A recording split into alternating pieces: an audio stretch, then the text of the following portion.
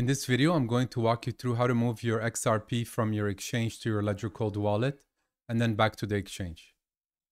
Here's what the steps look like. We're going to skip the buying selling part since I'm assuming you already know how that works. But if you don't, no worries, you can check out the buy and sell video at any time. The main focus here are the transfers. In this example, I'll be using a Ledger Nano S Plus, but the steps are pretty much the same for the Nano S, Nano X, and other Ledger Cold wallets. I'll be using uh, Kraken as the exchange since it's one of the most popular centralized exchanges in North America. Now, that said, the exchange you use doesn't really matter. The process is basically the same for all of them. What does matter is making sure that you have the correct wallet address and correct network because sending crypto to the wrong address could mean losing it forever. So the example we have here is the Raydium token that's running on the Solana network um, in Kraken. And we want to transfer it to the Ledger Live. So we have to ensure that we're using the same network. There are three security requirements that you must follow before doing the transfers. Number one, make sure your operating system is up to date. And if you can't update it because your hardware is too old, maybe it's time to upgrade the hardware. Number two, update all software in this case, specifically, we're going to be using Chrome to connect to the Exchange, the Ledger Live software to connect to your Ledger. And if you have an antivirus, make sure your virus definitions are up to date. And last but not least, ensure that your Ledger firmware is also running at the latest version.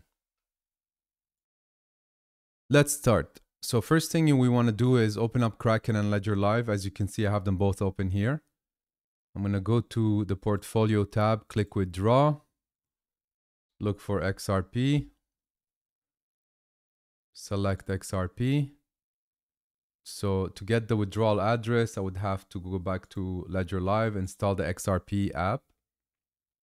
And then I would have to add the account to get the wallet address. So add account. Press both buttons to open up the app. Okay, so I'm gonna click add account again and it's successfully added. So in the Ledger Live, I'm gonna click on XRP, click receive, continue. This is the address. And since XRP runs on the native chain or network, we know that there's there are no concerns here. Uh, doesn't look like there's a tag. And the nickname, I'll just add ledger dash XRP. Add withdrawal address. It's asking me to confirm it. So I should receive it. Uh, confirm new, this one here. Confirm. Should be good. Yeah, it's gone. So I'm just gonna select the whole amount, click review, validate everything. So it's the right coin, the right amount, the fee makes sense. It's running on the Ripple network. It's going to the ledger and this is the address. So it's the same as this one here. Confirm. And that's it. It was successfully sent, hopefully. We're going to confirm in a few seconds. Okay, it looks like the XRP was received successfully. Now we're going to send it back to the exchange. So to send it back, I'm going to click on deposit. XRP. I'm going to copy the address from the exchange. I'm going to click send on Ledger Live.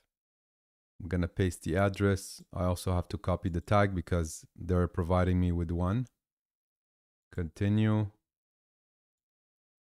And I want to send the maximum amount. For some reason, it's not allowing me to click on it, so I'll just type it.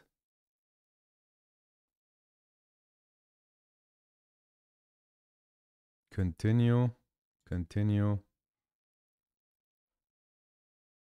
So now I have to confirm it on the Ledger device. I'm pressing the right button. Everything makes sense. So sign transaction, press both buttons. And it's done.